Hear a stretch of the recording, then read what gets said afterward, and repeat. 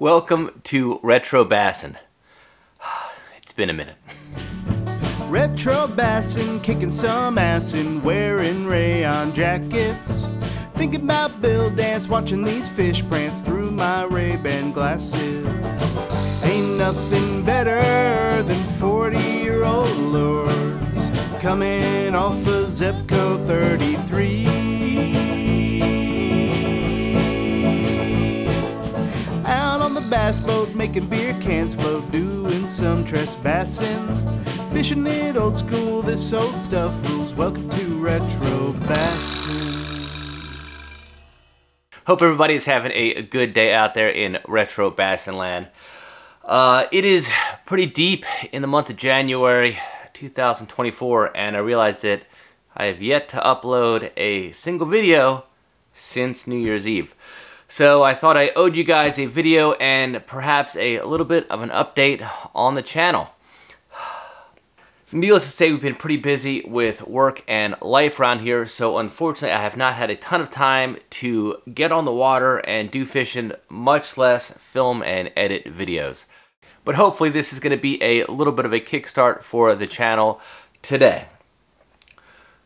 So, what has been going on with Retro Bassin? Well, if you do subscribe to the channel, no, I did not get shadow banned. In fact, we have been taking a, a little bit of a hiatus from long form video, and a couple reasons for that, but probably the biggest one is the fact that we are knee deep in the middle of a move. As some of you might know, we recently moved from Texas to the state of Florida, and I'm actually right now in the garage of our rental house. Had to sell the old Texas house first before we could buy here in Florida, and we've been kind of in between stuff. It's not necessarily the most ideal as far as living conditions or studio, but we're kind of making do. If you could see what's going on around here, oh my gosh, it is like Home Depot box city. But the good news is we have finally figured out where we're going to be living in the state of Florida. First off, thank you to all the Bassin Buds who were just so awesome with recommendations both on where to live and also where to fish in the Sunshine State. Since we first moved to Florida, we've been looking all over the place for houses everywhere from the Panhandle down to Sarasota and even over to the Florida Keys. But ultimately, we're going to be settling in St. Augustine. Hopefully be uh, in the new house in about a month or so and just in time for the Florida Fishing Tackle Show at the World Golf Center in early March. More details to come on that. Super excited to get out of this little transition period here and I've already got my plan set for the new Retro Bassin studio at the new house. By the way, drop a comment, let me know if you want me to film the construction of the new Retro Bassin studio. It is a little 12 by 11 foot office, but I've got some pretty grand plans for that little footprint. Well, being that it's January and a new year, I would like to take a minute to both look back on the past year of Retro Bassin, but also let you guys know some of the stuff we have planned for future episodes. 2023 was a pretty cool year on the channel. Got into a few new things. Probably one of my favorite was a new series we started called History of. Actually lifted that idea from some of the other channels, non-fishing channels out there that do really good history ofs of different things, whether it's an old school toy or an old school comic. And kind of lifted that format to try to do some more uh, detailed coverage of some old school tackle. I think one of my favorite episodes of that was the history of the Banjo Minnow that we filmed with the help of the Banjo Minnow owner and infomercial host Ken Carey. You know, sometimes I put a lot of work into a video and it doesn't necessarily do well in the algorithm, but occasionally something that I'm both proud of and put a lot of work into also does well, and that was the case with that one. That was, for a while, the top video of the channel. Honestly, in the past couple years, did really well. And I think what really made that whole thing gel was all of the great vintage footage that Ken provided. So huge shout out to Ken for that. And that was definitely a fun one. More of that kind of format to come. During the interview and filming process uh, with Ken, he sent me a couple packs of the new Banjo Minnow and was lucky enough to get those out on Lake Travis with Waylon and Caroline, my two little bassin buds. And as proud of that history of video as I was, I was even more proud of the catch that Waylon made with that Banjo Minnow. Catching his PB largemouth bass, just that was just such a cool experience and so fun. And it turned out that was actually the number one video of the entire year. So that was pretty cool, and hopefully some of that footage will make it into a future Banjo Minnow infomercial. As far as the rest of the year, what else did we do? Well, I kind of am trying to figure out some different ways to engage new subscribers. YouTube is a tough nut to crack, and I can't imagine being a new channel starting, trying to get any traction at all. In fact, there are some great channels out there. I did an episode on some of the other ones that are kind of smaller channels uh, than mine that I do like to watch. And yeah, it is a struggle for sure to get new subs. So one of the things that I started playing with a little bit in December was YouTube Shorts. Kind of did that for two different reasons. Number one, I wanted to try to reach out to maybe a different uh, demographic of subscriber, perhaps reach some of those younger bassin buds out there. And secondarily, as you can tell, there is just so much tackle that I want to talk about. And you know, even when I'm really singing with the channel, knocking out one or two episodes per week, it's just not enough episodes to really do a full feature on every lure that I want to. Well, I think over the uh, two or three week period in December, we cranked out 17 YouTube shorts. That was a blast, kind of a different filming format. Well, long story short, any video that you post on YouTube that is less than 60 seconds automatically gets flagged as a YouTube short and of course, there's some filming and editing differences as well. But don't worry, the channel is not going to become a short channel. Uh, my passion is definitely long form content. I'm going to keep doing that. But shorts is a great way to kind of see what lures you guys want to see more of. And there were a couple of not surprising ones from that, but definitely need an episode on the Roland Martin helicopter lure, hopefully featuring Roland Martin himself and first and foremost, one of the big ones I need to do is Bill Dance's Dancing Eel or Eelver. I actually just got the phone number of the founder of the Keeper Bait Company who made both the Dance's Eel as well as Sparkle Scales fish formula. So stay tuned for that episode coming up hopefully in the near future. Also wrapping up 2023, I think we gained over 5,000 bassin buds, which was pretty wild. Sometimes you know the, the, channel ebbs and flows here and there but yeah to pick up 5000 was pretty cool. Getting just over 17000 i think right around new year's as far as what's coming ahead i do have a few notes that i wrote down of things that i want to accomplish in 2024 I don't know if you want to call them resolutions or goals, but either way, here are some things that I want to do on the channel. And kind of dropping a video to hold myself accountable for some of the retro bassin projects. So what do I want to do? I want to fish more and I want to film more. I almost don't want to admit this on film, but since moving to the Sunshine State, I have not actually caught a single Florida strain largemouth bass.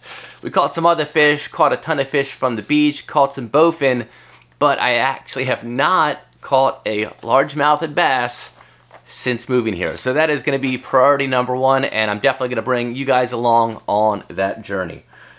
Uh, what else? Well, you know, I want to continue some of that momentum with my kids. It was really cool getting Waylon and Caroline out there to, we did some, I think, good pan fishing earlier in the year. And of course, Waylon caught some really nice bass on the Banjo Minnow. I do want to continue uh, to get them involved in fishing. I think they're both at a really good age where they can actually go out, actively fish, not just like with the minnow and bobber. And my goal is to get them on the old retro wagon as much as possible, both in freshwater and also in saltwater. And I've got some plans for that. Uh, what else do we want to do? Okay, so another one that is coming up. So there is a show. It is the FIATS. I think that stands for the Florida International Antique Tackle Society. And they are doing a tackle show in St. Augustine, which is going to be like 10 minutes from the new house, uh, March 1st to the 3rd. A, a couple years ago, thanks to my buddy Mark Ing, I got to go to a NFL CC national meeting for the first time ever. It had been on my bucket list for a long time, and for whatever reason, I just never was able to get to one. That was an absolute blast. I also got to go to the Savannah Tackle Show uh, late in the year. That was another cool one as well, and there are a few of these tackle shops that pop up some of them really in striking distance for me. So New Year's resolution is to get to those shows, and actually, Old Retro Bassin is going to have a booth at that show. So I will drop more information ahead of that, but uh, that is definitely going to be a, a, good old time hanging out, meeting new Bassin buds, seeing some old friends, and definitely doing a little bit of filming. What else do we have? Okay, so the History of series, I was really happy with that. When it comes to this channel, I do make content that I hope that you guys like, but at the end of the day, I, am really kind of making videos for me. Just things that I've thought of, things that I want to capture, and stories that I want to tell. That History of series is a great way to do it, and I've got a few in the hopper that are going to be happening real soon. So History of L&S MirrOlure, I've been in touch with those folks. I need to make that one happen. I mentioned the history of the Dances Eel slash Keeper Bait Company. Stay tuned for that. Next, Creme slash Night Lures out of Tyler, Texas. That's another one I want to do. And last, I'm going to employ the help of my Bassin bud, Dave Smith, aka Stumpjack Outdoors on Instagram. He did a couple of great articles for Bass Fishing Archives, one on Mepps Lures and the other on Eppinger Dardevle. And we're going to give the old Retro Bassin treatment to those two lure companies. You know, I've always wondered whether or not it's a good thing to actually meet your heroes. I think sometimes the images we build up of people in our heads may not match the reality. Well, whether or not uh, it will happen, it is a New Year's goal of mine to meet a couple of my heroes, and I'm going to do my best this year to track down Roland Martin, Bill Dance, and Jimmy Houston. Uh, to me, they are three of the most iconic bass fishermen of all time, and quite frankly, a big inspiration for this channel. So, New Year's goal of mine is to uh, track down some of my heroes and hopefully do it on film. Okay, so here is one that was actually a goal of mine for 2023 and I never actually got around to it. And that is launch the Retro Bassin Tackle online tackle shop. I actually have a rough draft sitting in Wix and I was hoping to launch it last year but just could not get around to it with a number of other projects and honestly, I kind of want to get my shipping situation a little bit more organized before we go live. But what will you find on the Retro Bassin Tackle Shop? Well, first off, I'm going to be selling merch. I know that you guys have been trying to get merch as of late, and so we've been on a little bit of a hiatus from that, but I will be dropping merch on the uh, website. Also working on some Retro Bassin branded logo lures. Uh, I don't want to leak too much, but let's just say how cool would it be to have an Eppinger Dardevle or a Mepps spinner with a Retro Bassin logo. And likewise, we feature a lot of tackle on the channel, and quite frankly, I am not going to have room to store it all in the new house. So it's going to be a chance for me to unload some gear and also share a little bit of the channel experience with you guys. Well, if you don't see that tackle shop go live uh, by the time we get to the new house, light me up in the comment section and definitely uh, hold me accountable for that one because that is a goal that I do want to get off the ground this year and I think it will be a ton of fun. Oh, and here's the, uh, the last goal for Retro Bassin. So I think we started this channel in 2018, early 2019.